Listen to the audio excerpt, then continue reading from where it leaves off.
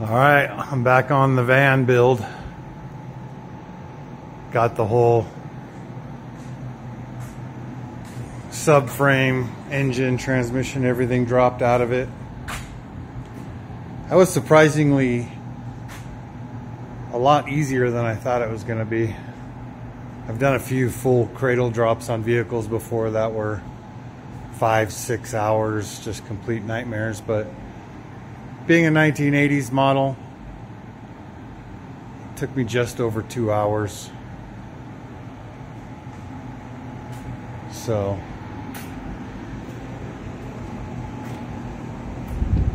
get this little V6 out of there,